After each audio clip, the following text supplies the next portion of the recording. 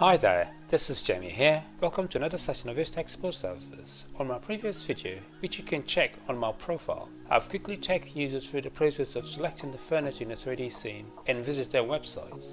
Also, users learned how to navigate the 3D scene with a mouse and the A, W, S and D keys how to use the ruler tools to check object dimensions, specifications and much more. In this session, we'll also learn how to use my Unreal Engine 5 application to shop for the furniture online. As you can see, the entire application is running fast on a web page with a laptop or desktop using internet broadband and Google Chrome browser. As previously done, right click on a sofa to select it in a 3D scene. On the top right corner of the screen, you have the sofa dimensions in X, Y and Z colors seen here and its web link here to click on. Left click on its web link to visit the website. It should take a few seconds to load up. After checking the sofa, click on this button here to add to basket. You can also look for other items on your website to add to basket.